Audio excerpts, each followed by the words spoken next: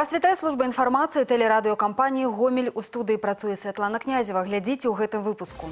Курс на імпартазамяшчэнне вытворчасць сінтэтычнай смалы выйдзе на поўную загрузку да канца гэтага года.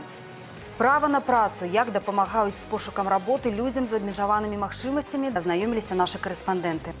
Рыхтуемся да школы. У рэгіёне распачалі работу спецыялізаваныя кірмашы. Цягнік здароўя. Валіолагі правялі прафілактычную акцыю на чыгуначным транспарце. У бліжэйшыя 15 хвілін пра гэта і іншае больш падрабязна. Прадпрыемства рэчыцца дрэў сёлета распачало выпуск сінтэтычнай смалы. Праект імпартазамяшальна. Акрамя таго, яго рэалізацыя дазволіла на 10 процентаў знізіць выдаткі ў вытворчасці асноўных відаў прадукцыі пліты фанеры. Рэчыцкую смалу могуць набываць і іншыя прадпрыемствы дрэваапрацоўчай галіны краіны, якія раней таксама выкарыстоўвалі імпартныя кампаненты. Дарэчы, адкрыццё цэха сінтэтычных смол за кароткі тэрмін дазволіла значна палепшыць эканамічную сітуацыю на прадпрыемстве. Выйсці з адмоўнай на станоўчую рэнтабельнасць. В начале года были определенные сложности. Значит, но вот с марта месяца, в марте месяце мы получили м, рентабельность, э, прибыль от реализации. Дальше у нас просматривается только э, прибыльная работа и вот это достижение наше. В прошлом году мы имели рентабельность продаж минус 17% э, в- на этот период за 5 месяцев. Сегодня имеем плюс 2,5. Последнего квартала с э, отметкой э, экологически чистая. То есть там минимальное содержание формальдегида, практически равное содержанию в натуральном дереве. Это будет наша реческая мебель такая, начиная с четвертого квартала. И, в принципе, дальше мы будем продолжать. Мы это получим обязательно, имея собственное производство смол, мы можем это получить. Да канца года плануецца забяспечыць поўную загрузку цэха сінтэтычных смол. Заўтра 29 ліпеня мясцовыя ўлады правядуць чарговыя прамыя тэлефонныя лініі. На пытанне жыхароў гомельскай вобласці адкажа намеснік старшыні аблавыканкама Андрэй Васильевич Конюшка. Завярнуцца да яго можна з 9 до 12 гадзін па нумары тэлефона ў гомелі 75 12 37. А ў гомельскім гарвыканкаме прамую лінію правядзе першы намеснік старшыні гарвыканкама Александр Іванович Сіваку. Нумар тэлефона 71 09 59. Шосты міжнародны злёт памяць без межаў распачаўся сёння ў гомелі. Яго ўдзельнікі ветэраны баявых дзеянняў, міратворчых аперацый, вайсковай службы з некалькіх краін. Традыцыйна першым у праграме мерапрыемства ўзлёту было складанне кветак да кургана вайсковай славы, помніку воінам-інтэрнацыяналістам. І гэта сімвалічна. Падчас мітынгу ўдзельнікі ўшанавалі памяць тых, хто не вярнуўся з палёў бою, аддаў жыццё за сваю радзіму. З году ў год памяць без межаў збірае ўсё больш удзельнікаў. І сёлета геаграфія стала шырэй. немножко больше у нас э, э, география, ну не стран, а география регионов. Сегодня мно- намного больше регионов Российской Федерации приехали, сегодня намного больше регионов Украины приехало, сегодня к нам новая делегация Молдавии приехала. Злёт, як заўсёды, абяцае быць багатым на падзеі і прыемныя сустрэчы са служыўцаў. Удзельнікаў чакае насычаная праграма, экскурсіі, спартыўныя спаборніцтвы, конкурсы і канцэрты. Таксама ветэранскія арганізацыі краін-удзельніц падпішуць дагаворы аб супрацоўніцтве. Падрабязнасці ў наступных выпусках навінаў. Браніраванне рабочых месцаў, спецыялізаваныя кірмашы вакансій і сацыяльная рэабілітацыя.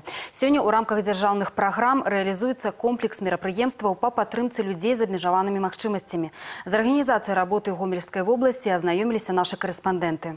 Сёння ў гомельскай вобласці пражывае каля 90 тысяч чалавек з абмежаванымі магчымасцямі. Задача дзяржавы аказаць ім сацыяльную падтрымку, у тым ліку праз працаўладкаванне. Працаўладкаваць усіх без выключэння інвалідаў немагчыма па стане іх здароўя. Хоць нават пры гэтым на гомельшчыне прадаставілі месцы больш як 200 інвалідам першай групы і амаль 2000 другой. На шэрагу прадпрыемстваў людзей з абмежаванымі магчымасцямі не проста чакаюць. Для іх зарэзерваваны працоўныя месцы. Умоў толькі дзве – фізічныя магчымасці і наяўнасць адпаведнай спецыяльнасці.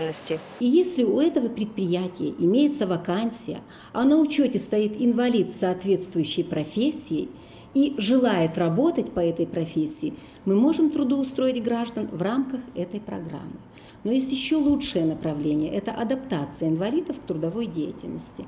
То есть государство предприятию, которое берет на работу инвалида в течение от 6 месяцев до года, выплачивает заработную плату и начисления на нее. У рагачоўскім цэнтры занятасці работа з людзьмі з абмежаванымі магчымасцямі сярод прыярытэтаў. Прычым вядзецца яна адразу па некалькіх накірунках. Ад правядзення кірмашоў вакансій для гэтай катэгорыі да перанавучання на новыя спецыяльнасці. Як вынік, кожны пяты чалавек, які не можа на роўных канкурировать на рынку працы, мае пастаянную работу. 425 человек работает. Хочется отметить, что работают не только инвалиды третьей группы, но и инвалиды второй группы, это 74 человека состоят в трудовых отношениях, и даже 5 инвалидов первой группы. Інвалід па слыху Васіль Трускі працуе ў рагачоўскім філіяле акцыянернага таварыства Гомель Абл Аўтатранс. Праўда, у дзень наведвання прадпрыемства журналістамі ён знаходзіўся ў водпуску. У калектыве кажуць, што абмежаваных магчымасцяў калегі ніхто ўжо і не заўважае. У сялякім разе на работу гэты факт адмоўнага ўплыву не аказвае. пользуется среди коллег авторитетом, и по нем даже не скажешь, что это действительно человек с ограниченными возможностями. Аказанне адраснай дапамогі, прадастаўленне сацыяльных паслуг, забеспячэнне тэхнічнымі сродкамі сацыяльнай рэабілітацыі. У рамках дзяржаўных праграм сёння рэалізуецца комплекс мерапрыемстваў па падтрымцы людзей з абмежаванымі магчымасцямі. Хоць ставіць кропку ў гэтай справе таксама рана. Сярод прапаноў, якія агучваюцца падрыхтоўка медыкаў і прадаўцоў з элементарнымі навыкамі сурдаперакладу і перагляд спісу прафесій, па якіх забаронена працаваць асобным катэгорыям інвалідаў. Сям'я Дар'і і Андрэя Стральцовых у бліжэйшыя дні плануе пераехаць з Рагачова ў Гомель. Год таму у іх нарадзілася дачка Юліана, якая, як і бацькі, таксама з'яўляецца інвалідам па слыху. Згодна з дзеючым заканадаўствам, гэтая сям'я мае права на льготнае будаўніцтва жылля. Што тычыцца месца працы, то жанчына працуе ў арганізацыі інвалідаў. Яе муж мае намер працаўладкавацца ў адну з гандлёвых кропак ці працаваць па спецыяльнасці. У свой час Андрэй скончыў вучылішча і атрымаў адразу некалькі будаўнічых прафесій. А если вдруг не получится, тогда я буду то, что я умею. Я отделочник, буду сам работать, отделочник квартир. Олег Сенцюров, Ольга Коновалова, Валерий Гапанько, телерадиокомпания «Гомель» з Рагачова. Абласная арганізацыя беларускага таварыства чырвонага крыжа правяла ў гомелі прафілактычную акцыю стоп гандлю людзьмі. Мерапрыемства прымеркавалі да сусветнага дня барацьбы з гандлем людзьмі, які штогод адзначаецца 30 ліпеня. Вераніка Варашыліна валодае падрабязнасцямі. Такія з'явы, як гандаль людзьмі і рабства пагражаюць здароўю і жыццю як асобнага чалавека, так і ў цэлым наносяць вялікі ўрон грамадству, стымулююць развіццё ценявой эканомікі і злачынных груповак. Каб перамагчы гэтую міжнародную праблему і прыцягнуць увагу соцыума да яе і быў заснаваны сусветны дзень барацьбы з гандлем людзьмі. Штогода яго прымяркоўваюць шматлікія тэматычныя мерапрыемствы. Гомельская абласная арганізацыя беларускага таварыства чырвонага крыжа на аўтавакзале правяла прафілактычную акцыю стоп гандлю людзьмі. Было арганізавана кансультирование пассажиров пасажыраў па бяспечным выездзе за мяжу і пытаннях атрымання дапамогі пацярпелых. Супрацоўнікі чырвонага крыжа раздавалі інфармацыйныя буклеты і рассказывали, якіх правілаў трэба прытрымлівацца, каб не стаць жывым таварам. Никогда никому не отдавайте свой личный паспорт. Ваш паспорт – это гарантия вашего возвращения домой. Э, Храните денежки в надежном месте и всегда оставляйте определенную сумму на обратный билет. Также проверяйте всегда лицензию работодателя и наличие визы. Всегда знайте адрес и телефон посольства Республики Беларусь в той стране, куда вы выезжаете. Телефон горячей линии указан на вот этих вот листочках информационных, которые сегодня мы раздаем всем отъезжающим за границу. А так телефон общий – это 113. Тэме выяўлення злачынстваў, звязаных з незаконным зваротам наркотыкаў і гандлем людзьмі, была прымеркавана і праграма «Задай пытанне ўладзе» на радыё «Гомель плюс». Госцем студыі стаў начальнік управлення па наркакантролі і супрацьдзеянні гандлю людзьмі управлення ўнутраных спраў гомельскага аблвыканкама Дмітрый Чарткоў. Ён паведаміў, што ў ходзе праведзеных аператыўна-вышуковых мерапрыемстваў супрацоўнікамі ўправлення перакрыты каналы вывозу жанчын у Расійскую Федэрацыю і ўкраіны Еўрапейскага Саюза. Па гэтых злачынствах узбуджаны крымінальныя справы. Як і любую хваробу, бяду лепш папярэдзіць. Калі не атрымалася заставацца сам насам са сваёй праблемай не трэба. Калі хто-небудзь з блізкіх ці знаёмых стаў ахвярай гандлю людзьмі, трэба неадкладна звяртацца да прафесійных спецыялістаў. Первоначально необходимо, конечно же, сразу обращаться в органы внутренних дел. У нас на сегодняшний день существует э, в каждом территориальном РОВД имеется сотрудник по линии наркоконтроля и противодействия торговли людьми, который квалифицированно, скажем так, окажет и первую помощь э, пострадавшим, а также проведет грамотно проведет все оперативно-розыскные мероприятия необходимые и которые связаны с документированием противоправной деятельности лиц, которые занимаются как вывозом, так и использованием занятий проституции. И весь этот э, значит, собранный материал будет передан в Следственный комитет для принятия дальнейшего решения. Поэтому необходимо обращаться в органы внутренних дел. Не бояться ничего не скрывать, обращаться и рассказывать о своей проблеме. Мы э, качественно поможем, задокументируем и привлечем к уголовной ответственности лиц, которые занимаются вышеуказанной деятельностью. Вероніка Варашиліна, Павел Антонов, Максим Славін, телерадіокампанія «Гомель». Тым часам супрацоўнікі гомельскага абласнога цэнтра гігіены эпідэміялогіі і грамадскага здароўя сёння правялі кансультацыі ў цягніку. Акцыя накіравана на папярэджанне сардэчна-сасудзістых і інфекцыйных хвароб. У дарогу накіравалася і наша здымачная група. Гомельский чыгуначны вокзал. Раніца. Для штодзённага цягніка нумар 6475 усё як звычайна. Адпраўленне ў 8.45. Тры з лішнім гадзіны па чыгуначнай стужцы праз 25 станцый. Праўда, на гэты раз шлях ад Гомеля да Калінкавічаў цягнік пераадолее не зусім у звычайным рэжыме. Кампанію пасажырам складуць супрацоўнікі дзяржсаннагляду. Праўда, тут іх мэта не праверка санітарных норм і не падарожжа, а інфармацыйная работа з насельніцтвам. Сегодняшний маршрут поезда э, Гомель-Калинка-Фичи не совсем обычный. Этот поезд – поезд здоровья. Цель, которую мы ставим перед собой – это напомнить э, пассажирам поезда о том, что о своем здоровье нужно заботиться постоянно, вне зависимости от того, где человек находится. И, естественно, контролировать, прежде всего, это касается людей пожилого возраста, уровень своего артериального давления. На кожнай станцыі вагоны папаўнялі пасажыры і практычна з кожным тут правялі кансультацыю. На памяць супрацоўнікі санітарнай службы пакідалі інфармацыйныя буклеты аб прафілактыцы сардэчна-сасудзістых захворванняў, ВІЧ і віруснага гепатыту. Дарэчы, правядзенне акцыі прыйшлося якраз на сусветны дзень барацьбы з гепатытам. З некаторымі правялі цэлыя віктарыны. Кажуць, у такой форме інфармацыя запамінаецца лепш. Усім жадаючым вымералі артэрыяльны ціск і далі рэкамендацыі. Очень прекрасно. Я, я, я вообще без ума, что немножко еще есть какая-то забота. Даже в поезде это вообще это прекрасно.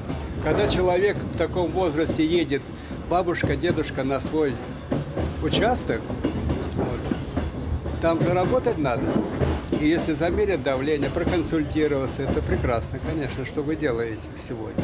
Сапраўды абвастрэнне сардэчна-сасудзістых захворванняў у гэты перыяд года тэма актуальная. Тым больш, калі гаворка ідзе аб пасажырах чыгуначнага транспарту. Увогуле такія захворванні вельмі распаўсюджаныя. І часам, пакутуючы ад сімптомаў, людзі нават не звяртаюцца да ўрачоў і не сочаць за здароўем. У выніку кожны год у свеце памірае амаль 18 мільёнаў чалавек. Каб гэтыя лічбы сталі хоць крыху менш і праводзяцца такія акцыі. Дакладна ведаць свой артэрыяльны ціск ужо мець шанс захаваць здароўе. У цэлым за гэты дзень у цягніку раздалі больш за тысячу інфармацыйных буклетаў. Вымерлі ціск і атрымалі кансультацыю больш за 300 пасажыраў. Ганна Кавалёва, Ігор Марышченко, тэлерадыокампанія «Гомель». На Гомельшчыне ў разгары сезон школьных кірмашоў. Набыць тавары для школы зараз можна на пастаянна дзеючых пляцоўках ля цэнтральнага рынку, гандлёвага дома рэчацкі і на давыдаўскім рынку. Пакупнікам прапануюць канцылярскія тавары, дзелавыя, спартыўныя касцюмы і дзіцячы абутак для ўсіх узроставых груп. Прычым набыць усё гэта можна па зніжаных цэнах. Скідкі прапануюць як дзяржаўныя гандлёвыя арганізацыі, так і індывідуальныя прадпрымальнікі. Мінімальны кошт экіпіроўкі школьнікаў 170 рублёў для хлопчыка малодшага школьнага ўзросту, для дзяўчынкі 200. Для вучняў старшых класаў ад 230. Сюды ўваходзіць адзенне, абутак для школы і заняткаў спортам, канцылярскія тавары, партфель ці сумка. Да 875годдзя Гомеля распрацаваны лагатып з гербам абласнога цэнтра і ўзорамі неглюбскіх рушнікоў. Фон паўтарае фактуру ільнянога даматканага вырабу. У цэнтры размешчаны герб Гомеля, сімвал нацыянальнага арнаменту багацця. Надпіс «Гомелю 875 гадоў». Па перыметры лагатып апраўляюць узоры неглюбскіх рушнікоў. Гэты сімвал будзе выкарыстоўвацца пры святочным афармленні да дня горада. Аранжавы колер гэтага лета на бліжэйшыя суткі ў рэгіёне зноў абвешчана штармавое папярэджанне. Як паведамілі ў абласным гідраметэацэнтры на тэрыторыі вобласці пройдуць працяглыя дажджы. Ноччу ў асобных раёнах вельмі моцныя, магчымы навальніцы. Вецер паўночна-заходні 5-10 у асобных раёнах парывы да 15-18 метраў за секунду. Тэмпература паветра ўначы складзе ад 15 до 20, у дзень да плюс 25 градусаў. У нядзелю ўначы па ўсходзе магчымы кароткачасовыя дажджы у дзень будзе пераважна без ападкаў. Тэмпература паветра складзе ўначы да 16, у дзень да 28 градусаў. Па папярэдніх дадзеных у панядзелак 31 ліпеня будзе пераважна без ападкаў. У дзень паветра прагрэецца да плюс 32 градусаў. На гэтым выпуск завершаны. У студыі працавала Святлана Князева. Усяго добрага і да сустрэчы ў эфіры.